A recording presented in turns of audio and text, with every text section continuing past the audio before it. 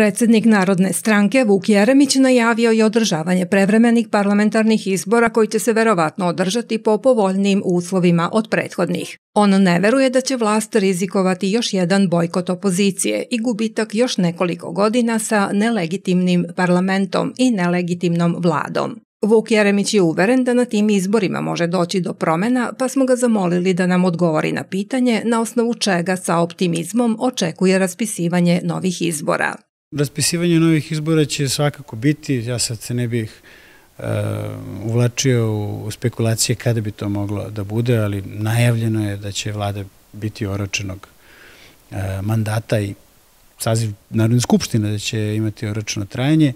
Uh, razlog za to je što u parlamentu nema opozicije. Jedina zemlja pored Srbije u kojoj, gde u parlamentu nema opozicije je Belorusija.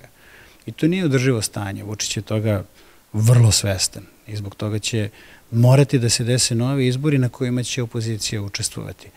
Ali da bi opozicija učestvovala, govorimo o onoj opoziciji koja je bojkotovala 21. juna, da bi opozicija učestvovala, moraju da se steknu neki uslovi drugačiji od onih koje smo imali ovog leta.